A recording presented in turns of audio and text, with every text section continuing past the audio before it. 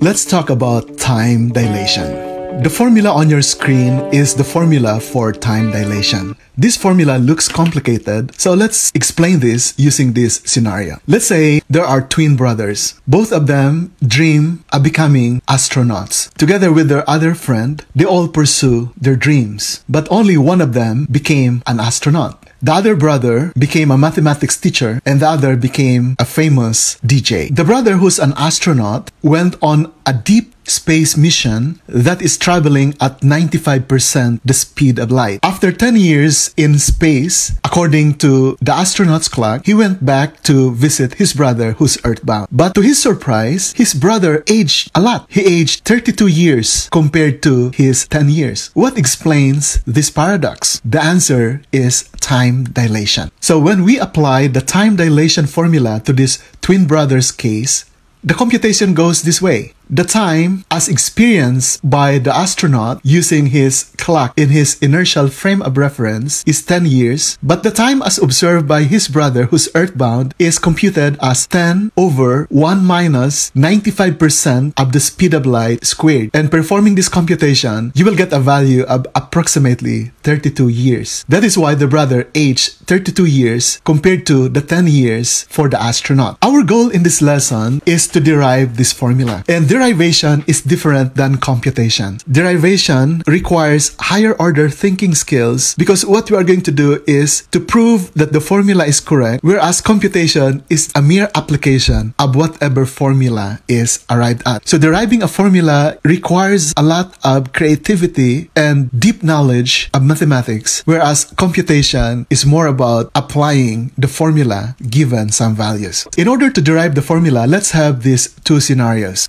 In the first scenario, we have this light clock. A light clock is a clock that measures time by bouncing back and forth a light ray. This part is a mirror and this is another mirror and these two mirrors are parallel with each other and we bounce back this light. But we know that light has a constant speed and that constant speed is denoted by c. By bouncing back and forth this light ray, then we'll be able to come up with a ticking clock that measures the time. And in this first scenario, we are in the same inertial frame as the light clock. When we move, the clock moves with us. And for our notation, we use the notation delta t sub 0 to denote the proper time. Proper time is the time measured when you are in the same inertial frame. And the distance between the two mirrors is denoted by the variable d. Some idea about inertial frame. We know that planet Earth is moving around the sun. But despite that movement of the Earth around the sun, it seems that we are not experiencing any movement at all because we are moving at the same speed as the planet Earth. So we are in the same inertial frame. Also, in the computation of the speed of light as 299,792,458 meters per second, this second is defined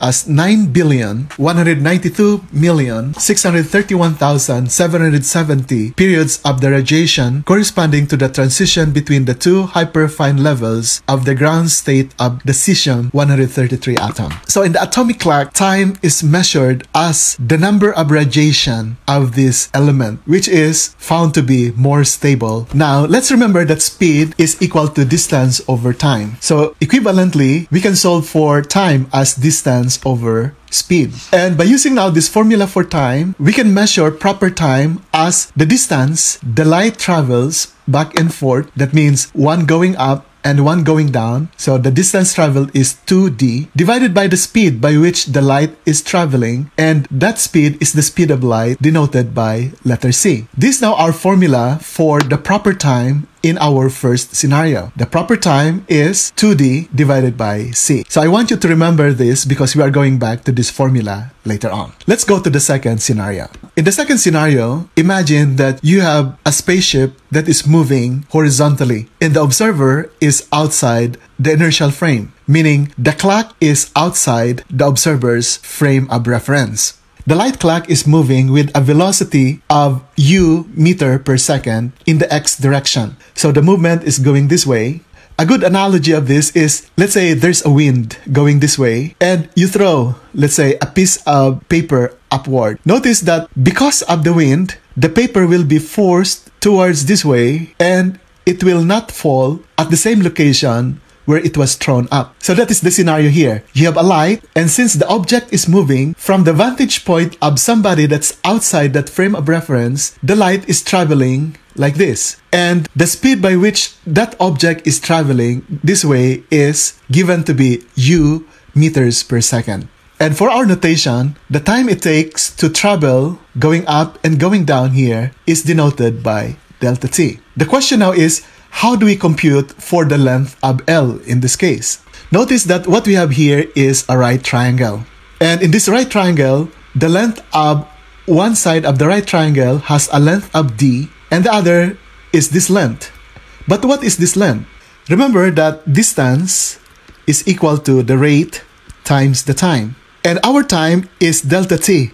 But remember that delta t is the time for us to move up and down to complete one tick. So therefore, our time should be delta t divided by 2 because from here going here, that is only one half one tick because one tick is considered as going up and going down. So our time is delta t over 2. And what is our rate? Our rate is given to be u meter per second. So the rate is u meter per second. Therefore, this length here now is u times delta t over 2. Now, don't think of delta t as two variables. This is one variable, the change in time from here going to this point. So, applying now the Pythagorean formula, remember that the Pythagorean formula is c squared equals a squared plus b squared, which is equivalent to c equals the square root of a squared plus b squared. So applying now this formula, our c is this L, that's the hypotenuse. So c equals the square root, so you have this square root. Now, it doesn't matter whether this is A or this is B or vice versa. By commutative property of addition, you can interchange the value of A and B. So if we let D be our A, then our A squared becomes D squared. So we have this D squared plus our B is U delta T over 2 squared. So our B is U delta T over 2 then we raise that to the second power. So this is now therefore our expression for the length of this line segment L. So we have the formula for the length of this L and for the time, similar to the way we compute our scenario 1, the time for our clock to travel up and down is delta t, but that is equal to distance over speed. And the distance the light ray traveled is one going up, which is L, and another going down, which is another L. So together we have two L's. That's why you have two L here. And the speed by which the light travels is the speed of light, which is C. So this is the time for the light ray to complete one tick, but this L here in the numerator is equivalent to this expression, the square root of d squared plus u delta t over 2, all raised to the second power. So comparing now the two scenarios, one scenario wherein the observer is in the same inertial frame of reference, and the other is where the observer is outside the clock's frame of reference. This is now what we have. The time as experienced by a stationary object with the observer at the same inertial reference as the clock is Proper time equals the distance going up and down, which is 2d, divided by the speed, because time is distance over speed. Whereas for the second scenario, where the observer is outside the clock's frame of reference, the distance is this L and L, which is 2L, divided by the speed of light. The main difference here is the length of d. d is this length, whereas in the second one, our distance is the L, which is obviously longer. And since the distance here is longer, then we will say that whatever time we compute here is bigger than the time that we are going to compute in the first scenario. We now say that there is a dilation of the time or the time is expanded in the second scenario. That's why we call this as the time dilation. So as we continue our discussion and derive the formula for time dilation, what we are going to do is we are going to synchronize these two formula. So let's do that. Let's focus on this second scenario. So we have this given delta t or the time experienced by an observer outside the frame of reference. We have delta t equals 2L over c. But we know that this L here is this L. What we can do therefore is we can substitute this expression to the value of L in this formula. So let's do that. So from delta t, we have this delta t, then this 2 is this 2. This L is now replaced by this. So notice that this part is our L, which is this one, and then you have over C, so you have over C.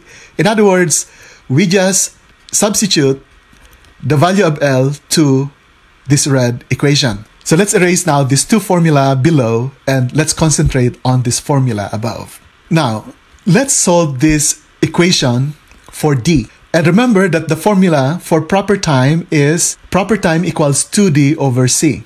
And from that formula, we can solve for D. So we can multiply both sides by C to get C delta T sub 0 and then divide by 2 both sides and we'll get this expression for D. Let's concentrate on this formula for D. Since the value of D is this formula, we can now substitute this value to this D here. Replace that D with C delta T sub 0 over 2. So this formula at the top becomes this formula. So I copy delta T equals copy 2 square root. When we encounter the variable D, we use C delta T sub 0 over 2. That's why you have C delta T sub 0 over 2. And then you have exponent 2 here, so you have exponent 2. All the rest are copied, plus this expression all over C. Let's concentrate now on this formula. What are we going to do to simplify this? This 2 is not the square root, it's, it's a factor. Notice that you have here a square root. In order to eliminate the square root, what we can do is we are going to square both sides of the equation. We are going to square this and we are going to square this part. And by squaring that, this is what we'll get. You have delta t squared. This 2 is raised to the second power, so you have 4. And then when you raise this expression under the radical symbol to the second power, the square root and the exponent 2 are cancelled. So we are left with this expression inside the radicand. And then c is raised to the second power. And then uh, we can gather this 4 over c squared as one fraction that we can distribute to the binomial term inside the grouping symbol. So this is what we'll get. And then let's distribute this to these two terms. Now, when we distribute, notice that you have an exponent 2 here. So you'll have c to the second power. And that c to the second power will be cancelled by the c to the second power, which is in the denominator here. So that will cancel the c squared. And then this 2 raised to the second power is 4. And you have 4 here in the numerator. So we'll be able to cancel the 4 and the 4 here. What is left is this expression, delta t sub 0 raised to the second power. That's why we have this part. If we distribute this again to the other side, notice that you have 2 raised to the second power here, and that will cancel out this 4. And so what you have is u raised to the second power, delta t raised to the second power, and this c squared that's left. This is exponent. Let's continue. Notice now that you have here delta t squared, and you have delta t squared here, whereas this one is delta t sub 0 squared. So this is a different variable than delta t here. What we can do is gather all those terms with the same variable, and we call them as like terms. This is what we'll get. We subtract this expression from both sides of the equality to arrive at this part. This is c to the second power. Now, notice that we have here a common factor, delta t squared and delta t squared here. We can factor out that common factor. And so factoring out delta t squared, we have delta t squared times delta t squared divided by delta t squared is 1.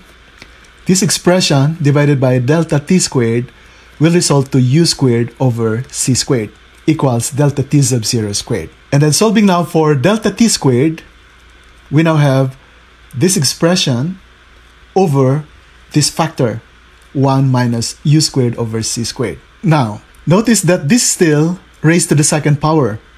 What we can do is we can get the square root of both sides of the equality and what we will get is we'll be able to cancel this out to get delta t and then the square root of delta t sub 0 raised to the second power is delta t sub 0 and we have the radical at the denominator. And finally, we now have this formula. So we now have this time dilation formula which says that the time as observed by someone who is outside the clock's inertial frame of reference is equal to the time as observed by somebody who is inside or who is in the same inertial frame of reference as the clock divided by the square root of 1 minus the speed by which that object is traveling raised to the second power over the speed of the light. And do you know that this is the reason why our satellite navigation system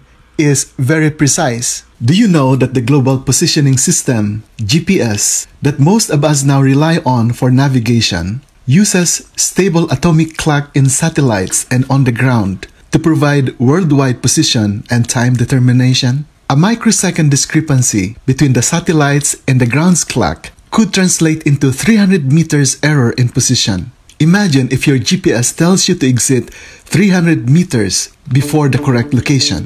GPS considered the constancy of the speed of light, the equivalence principle, time dilation, gravitational frequency shifts, and other relativistic principles to do its job. Time indeed is that crucial. Thank you very much and we'll see you in the next video.